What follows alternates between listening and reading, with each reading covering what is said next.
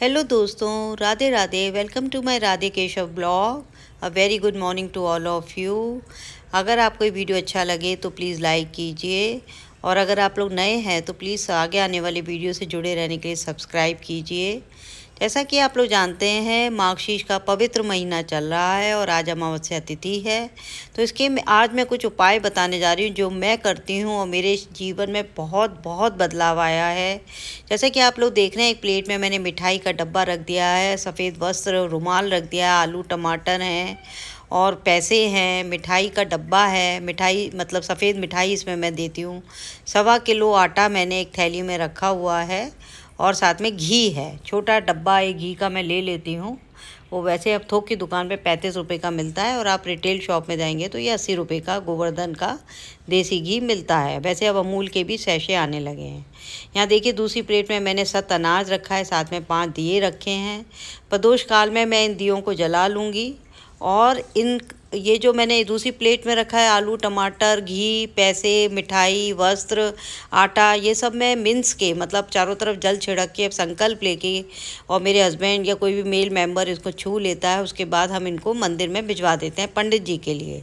इस तरह से ये पितरों का दान हो जाता है, अमावस्या का दान हो जाता है, इसमें हम संकल्प लेके ये दान के चारों तरफ़ प्लेट के चारों तरफ़ जल छिड़क के हम मंदिर में भिजवा देते हैं। ये घी के दिए जो हैं इनको जला के दूसरे दिन जब ये जल जाते मतलब प्रतिपदा वाली तिथि में हम इनको टेरेस पे छोड़ डाल आते हैं।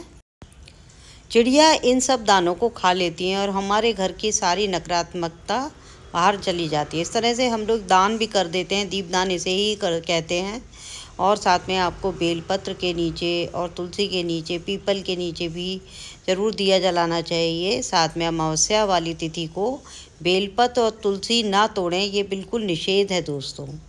और साथ में मैं करती हूँ शाम को कंडे का उपाय। ये गाय का कंडा है जिसे मैंने गैस के ऊपर, एक जाली के ऊपर रखा हुआ है। इसे मैं जला रही हूँ और जला के बिल्कुल लाल गरम कर लूँगी। जब ये बिल्कुल लाल गरम हो जाएगा, तब मैं इसको गैस से उतारूँगी।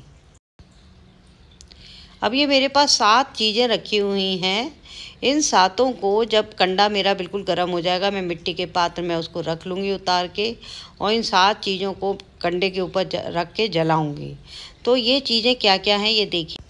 पहला है घी, देसी घी, फिर गुड़, उसके बाद पीली सरसों, फिर कपूर, चंदन के कुछ टुकड़े, लोबान और गूगल।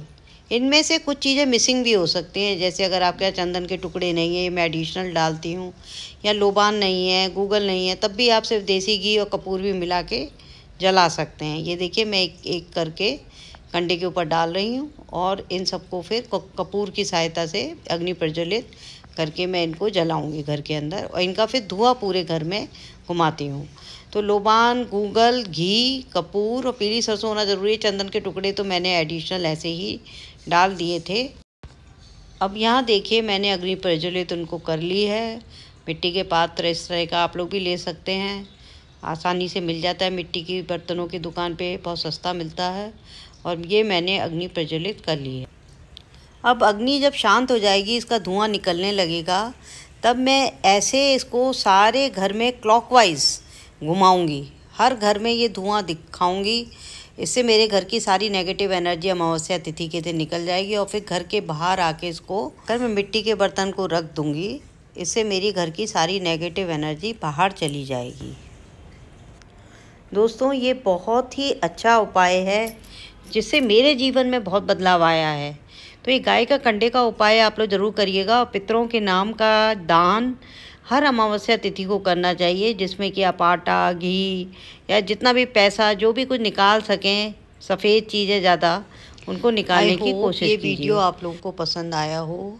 अगर पसंद आया है तो प्लीज़ लाइक शेयर और सब्सक्राइब कीजिए। Bye bye thank you.